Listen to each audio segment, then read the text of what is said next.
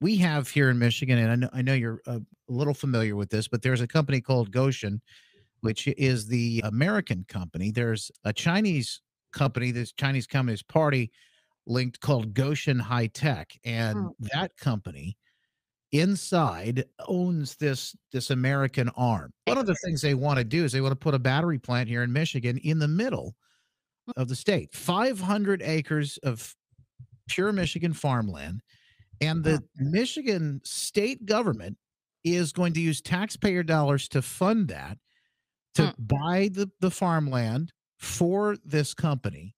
They're telling us no, there's separation, there's no issue there. First of all, lots of folks see a national security issue. We Mhm. just had the spy balloons flying overhead, and now now we're going to put a company right in the middle of this Yeah. 500 acres of farmland. Then the other issue is uh, people see another big problem that we have all Mhm. the environmental concerns. This is right near all this fresh water, the drinking water here, the, the Mhm. Lake Michigan. These are the documents.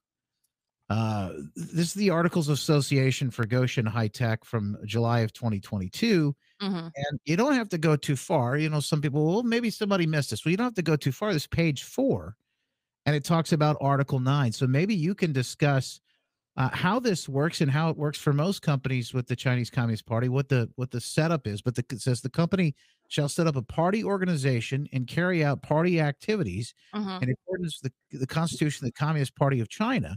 Company Yeah. shall ensure necessary conditions for carrying out party activities.